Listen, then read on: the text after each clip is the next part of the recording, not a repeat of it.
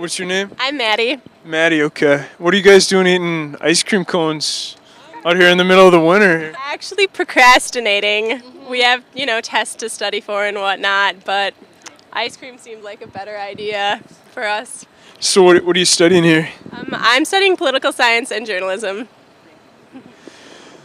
Political science, that's neat.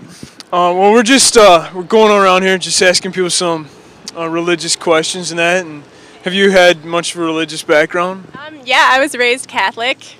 I still practice, but not so much when I'm at school.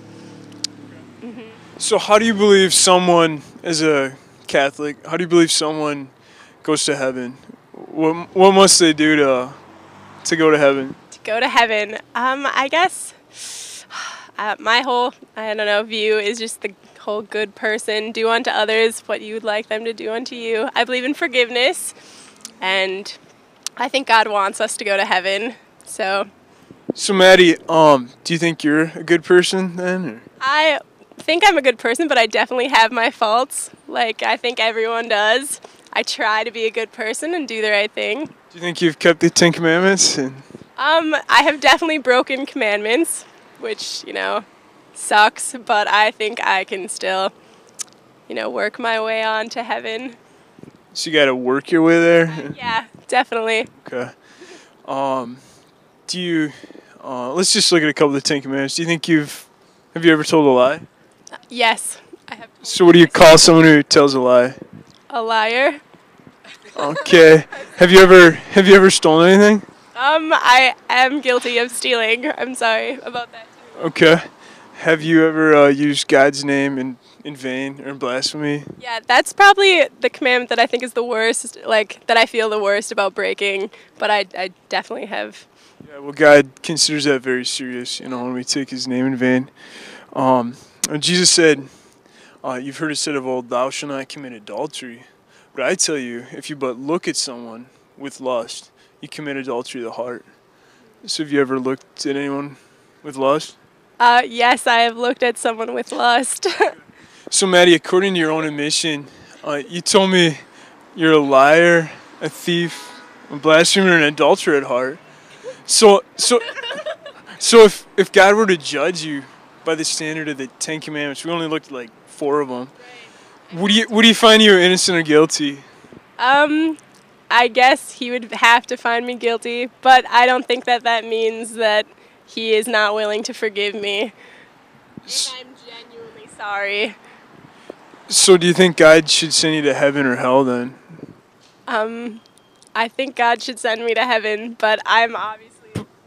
But you just told me that you've broken His laws. Don't you think God should punish lawbreakers? Like I've said a couple times, I think forgiveness is the main thing. I think God wants us to succeed in getting to heaven, and I think it's normal for people to make mistakes and to break rules.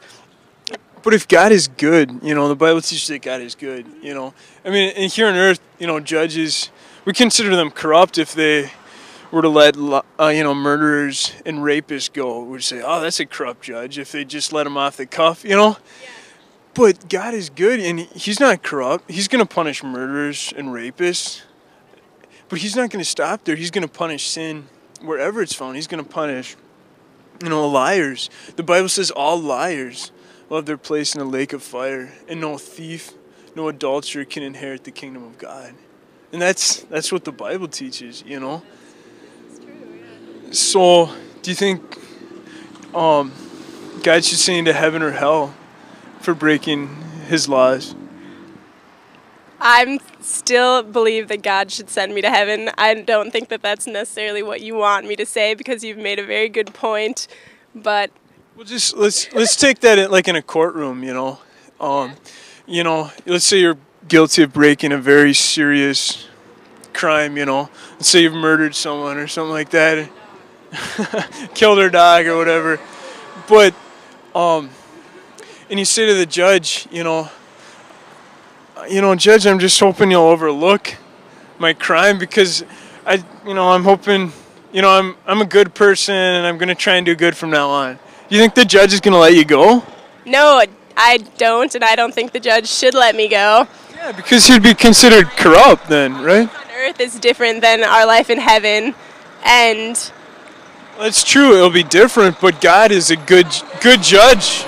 expect if I murdered someone, I would fully expect to go to jail for the rest of my life, but I would not necessarily expect to go to hell. Well, have you ever hated anyone? No, I've never hated anyone. Um. So you don't think you think you just have to do good works to get to heaven, right? You, you, you think if you do enough good deeds, God's gonna over hopefully overlook your crime and It's not about overlooking what you've done wrong. It's about, you know, being seeking forgiveness and truly feeling sorry for what you've done wrong. And I think that when something happens in my life that makes me feel I need to really seek that forgiveness, I will do that. And so how do you access that forgiveness? What access that forgiveness? um I guess Where's that forgiveness found? Because we can't, you know, like I was saying, a judge just can't let you off the cuff. You know, who? How do you get that forgiveness? Well, for Catholics, you go and you, you know, have confession with a priest and everything. But I think it's also just really deeply personal how you want to pray, pray or how your relationship is, your faith or whatever. I think you just know there's a feeling of calm when you have found forgiveness. Okay, well, I'd just like to share a little bit, you know, what I believe, and I believe none of us, me, me included, we've we've all broken God's laws, you know, and we all deserve. we, we've all deserved God's wrath. You know, we all deserve to go to hell because God is so good and so holy. He cannot. He, we, yeah, because compared to God, you know, who's so holy, we've all broken his laws. And the Bible says that, you know, all lawbreakers will, should go to hell in that, you know. But I believe that um, we can have forgiveness uh, through Jesus Christ, not through a priest. We don't go to a priest for forgiveness because they're just, they've broken God's laws just like the rest of us.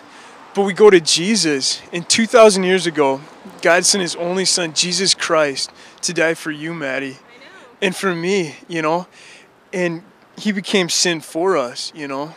God killed his only son for our sin. You know, we deserve to be on the cross. I deserve to be up there because I've offended God. And that was my death penalty. But instead of killing me or killing you, God killed his only son so you don't have to go to hell. But you can never do enough good works to earn God's favor, you know? The Bible says that God considers our good deeds like filthy rags. And the only way we can get forgiven is if we repent. And that's not just saying, oh, God, I'm sorry, you know?